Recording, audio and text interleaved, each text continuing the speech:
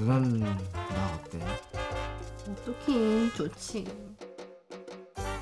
누나 응? 우리 사귈까? 우리 사랑하자고